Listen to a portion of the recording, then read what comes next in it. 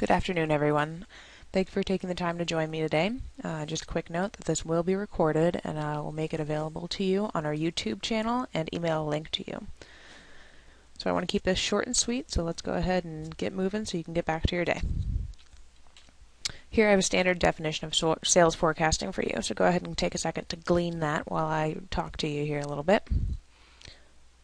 So that definition sounds good, but sales forecasting means a lot of different things depending on who you talk to and the context of that discussion. Sales forecasting is a crucial piece of supply chain planning.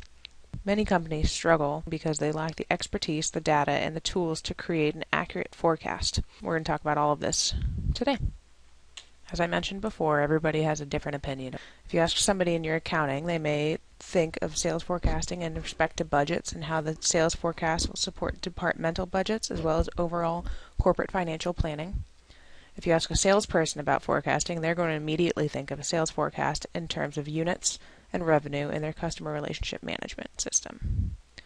Unfortunately, very few people ever ask the poor supply chain planners what they need in respect to sales forecasting.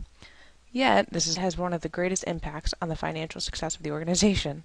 Jump on to how these different departments can work with the supply chain planners to successfully and accurately forecast sales and demand. Every company develops their sales forecast differently because every company is different, even those in similar or the same industries. With that said, there are a few different ways to manage sales forecasting which are directly related to those people who are developing the forecasts and their roles in your company. In some industries, the best people to create your sales forecasts are in fact the sales rep themselves who are selling the products. This is common in custom or highly engineered product environments or in cases where internal planners and automated systems do not have insight into customer demand. This makes it almost impossible for internal material planners to predict future sales. Likewise, there is no relevant sales history to use for automated system generated sales forecasts.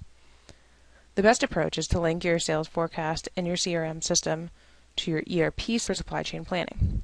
Realize that some sales reps will be very good at forecasting demand, while others may not be quite as accurate in respect to expected close dates or units. Below are some best practices to consider when using sales reps to help determine sales forecasts for supply chain planning. Make sure that you use your CRM fields to capture information that is meaningful to your supply chain planners, not just your sales team. Planners won't necessarily care about the expected close date for a sale if the demand for the item won't fall until a future period and they have adequate lead time to procure the necessary products and resources. Also ensure that your CRM system has a field to note quantity and unit of measure for the forecasted demand, as many companies sell in different units of measure than those in which they buy a product or in which they manufacture the product. Forecast accuracy. Some sales reps are exceptional at forecasting, but others aren't quite so good analyze previous forecast accuracy by sales reps by item to determine how accurate their forecasts are. As a planner, you can then make the necessary adjustments for your supply chain forecasts.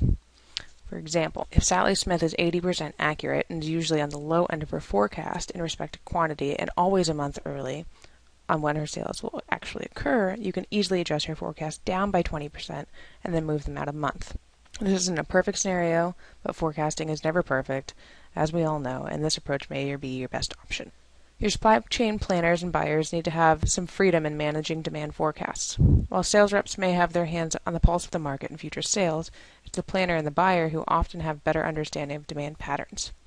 As such, you may want to take a collaborative approach when CRM sales are made available to planners who utilize this information to develop their own demand forecasts. And accounting managers typically look at sales forecasts strictly from a financial perspective or in respect to budgeting.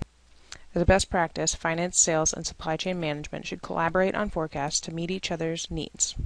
Financial forecasts are important to the supply chain planners and buyers as budgets do have a direct impact on their ability to staff up when demand spikes, lay off when demand is light, or for capital expenses for new machinery, tooling, and other resources to meet forecasted demand. There's really only one thing to know here. Don't leave your supply chain planners in the dark. These individuals have a deep understanding of supplier relationships and internal manufacturing processes that affect their ability to deliver products to customers on time. Planners are in tune with recent shifts in demand and have the experience needed to develop, to develop forecasts based on practical, real world experience. With that said, supply chain planners too often have no visibility into the sales department's forecast and even less visibility into forecasts created by the accounting department. So, as mentioned before, all of these departments should be working together. History repeats itself, and not everyone is a statistical genius.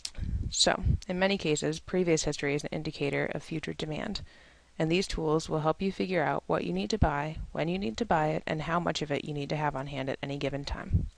Systems are available to analyze demand history by item, by customer, and by period to predict future demand for those items, taking into account growing product lines, declining demand for products, and fluctuations in demand for seasonality and marketing promotions.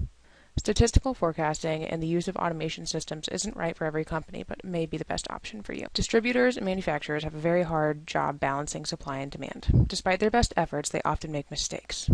Some mistakes can't be avoided, but some can, and technology has a huge role in helping them make the best decisions to minimize costs while meeting or exceeding customer expectations. Even smaller companies should evaluate their sales forecasting and requirements planning processes to identify areas where they can improve.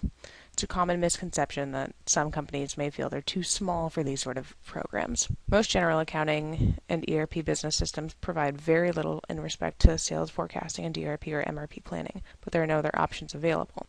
That is why E2B Technologies developed Anytime Supply Chain to extend your accounting or ERP's business system.